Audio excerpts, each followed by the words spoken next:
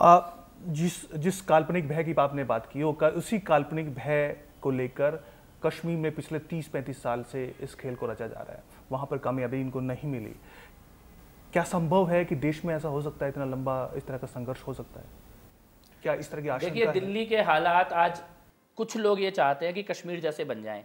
लड़के पत्थर लेके निकले पुलिस को मारना शुरू कर दें। कहीं से किसी के पास भी गोलियाँ आ रही हैं वो गोलियाँ चला रहा है। प्लानिंग करके ऐसे घट्टोज बना लिए गए हैं जिनके अंदर ना पुलिस घुस सकती है, ना लोग घुस सकते हैं और वहाँ से बम इकट्ठे हो रहे हैं वहाँ पर। एसिड इकट्ठा हो रहा है और केवल एक जगह नहीं है।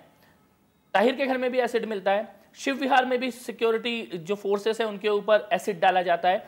जाफराबाद में भी एसिड डाला जाता है। यानी एक पैटर्न आप पूरा पैटर्न फॉलो कर रहे हैं। जगह जगह आपने एसिड इकट्ठे कर लिया, आपने पेट्रोल बम इकट्ठे कर लिया, आपने पत्थर इकट्ठे कर लिए, आपने मन में जहर भर दिया है कि पुलिस वाला मतलब एक बूढ़ी औरत, वो पुलिस वाले को ईंट मार रही है। पुलिस वाला तुम्हें बचाने के लिए आ रहा है कि मारने के लिए आ रहा है? और फिर गर्व से बता रही है कि मैं पुलिस वाले को मार रही थी और नाली में मेरा पैर चला गया। इतनी नफरत? इतनी नफरत मन में भर दी है। कल कन्हैया की रैली में एक बच्चे का वीडियो आया। वो बच्चा जो बोल रहा है, वो बच्चा अपने आप में वो एक टेररिज्म की सोच है। वो देश में ये बच्चे बड़े होकर कभी हाथ साथ में चलेंगे क्या? तो ही बात हो।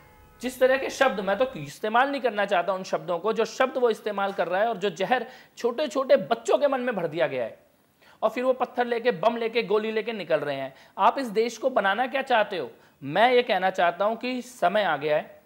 शांतिपूर्वक, लोकतांत्रिक तरीके से, अहिंसात्मक तरीके से, लेकिन दृढ़तापूर्वक। दृढ़तापूर्वक प्रतिरोध करना ही होगा।